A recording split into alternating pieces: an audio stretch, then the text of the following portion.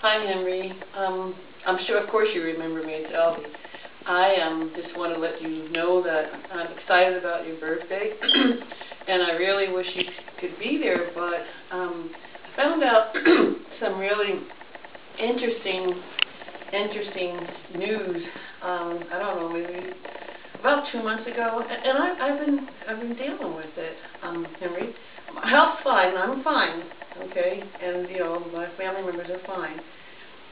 But it's just been really hard because I had absolutely no idea um, until a few weeks ago, as, as I mentioned. And when I found out, I especially wanted to um, to try and be there for your birthday, your 90th birthday. But um, be between work and, and my assembly stuff, I just I couldn't take off, and I'm so sorry. Um, I I want to again wish you a really happy birthday and let you know that that I love you, Henry. And um, I, I I hate to tell you the news this way because I don't really think it's fair, but you know I wondered for years why I had light eyes.